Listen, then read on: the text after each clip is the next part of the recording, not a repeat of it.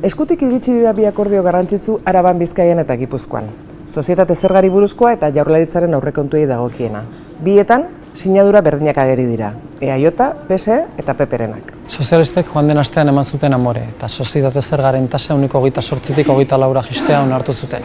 EAJak ezabatu zuen marragoria, PPren boto funtseskoek ezabatu dute. Enpresei pari dotorea eman ondoren, popularrek beren saria eman diote urko gobernuari ere. Beste urte bete aurrekontuekin. Urkullu noski gustora saldu da. Nabarmendu du itun sendoak direla, errealistak eta positiboak. Patronalak txampaina atera du.